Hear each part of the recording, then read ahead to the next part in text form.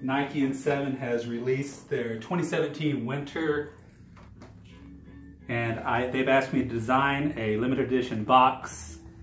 So as you can see, there's some feather textures here on the side. When you open it up, you'll be able to see wings.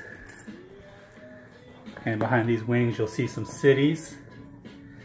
The N right there. There's the seven. And behind these, you'll see a TP totem pole. Then they have this glass etching, my signature on it. And these are some of the new